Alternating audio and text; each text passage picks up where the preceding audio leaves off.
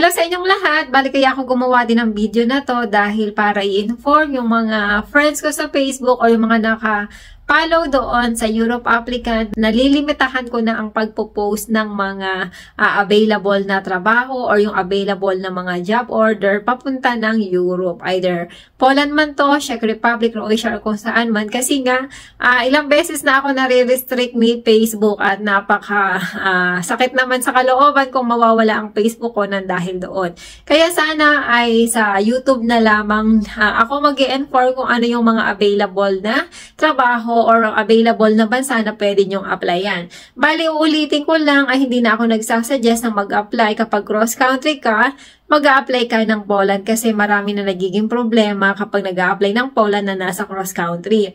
Pero yung nasa Pilipinas, okay pa naman. Kaya samantalahin ng mga nasa Pilipinas hanggang okay pa. At sana naman yung mga kababayan natin na OFW na paalis na papunta ng Poland, huwag naman sana kayong mag-run away agad-agad. Para hindi naman maapektuhan yung mga uh, susunod na aplikante na nasa uh, waiting pa ng working permit at saka ng kanilang visa.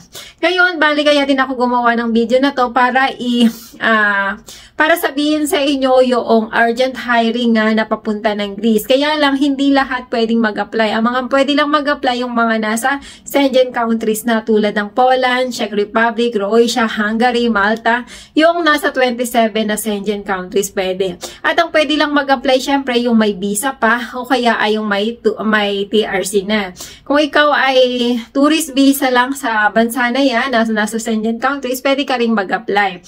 Then, kailangan ay nasa Greece na uh, hanggang uh, April 20. Kaya kung sino ang interested, i-PM nyo na ako para maibigay ko na WhatsApp number ni Madam Christy at nang makausap nyo na siya regarding doon sa complete details. Pero i-discuss ko na rin yung ibang information. Ang pwedeng mag-apply nasa Schengen countries, may visa at may TRC. Ang mga requirements pala na kailangan ay passport, CB nyo at TRC. Ngayon, uh, kailangan ikaw ay hanggang 45 years old lang. Hindi pwede yung medyo may edad-edad na kasi syempre, uh, hotel yon kailangan malakas ang katawan kasi maglilinis ka ng mga kwarto. At hindi lang naman isang, uh, uh, hindi lang isang hotel yung pagdadalhan. Hindi ko lang alam kung ilang uh, klase o ilang hotel ba yung naghahanap ng housekeeping. Ngayon, uh, ano pang nakalagay dito? Ang kailangan ay 30 na babae at 30 na lalaki. Tapos ang sahod ay nasa 1,200 100 euro plus OT at saka yung tip na ibibigay ng mga uh, nag stay doon sa hotel. Tapos, ah... Uh, ang trabaho ay mula April hanggang October lamang. Bali na sa ano lang siya. 7 months na ikaw magtatrabaho at yung 5 months ay wala kang trabaho. Pero, uh, ipinapangako naman ng company na tutulungan kayo ng company na mag-apply ng mag-apply sa government para kayo ay bigyan ng 550 euro. At ang kagandahan pa doon, pwede kayong magtrabaho sa iba. Siyempre, halimbawa, malapit nang matapos yung inyong pagtatrabaho, makakapag uh, example, ngayon ay October na, maghanap-hanap ka na na magiging trabaho mo sa September hanggang sa March. Ayan, pwede ka pa rin kumita. Pero syempre, uh, kailangan galingan din talaga. Sana ay may mga qualification din kayo. Saka wag din mapili. Ayan. Sabi dito ay pwede daw kumita ng hanggang 2,000 euro kapag winter time. Kasi yung time na wala kang trabaho ay winter time yon. Then, uh, yun nga, kailangan ang pupunta doon sa Greece ay yung mag apply ay may visa pa. Dahil ang gagamitin mo para makarating ka ng Greece ay yung visa na meron ka o yung TRC mo.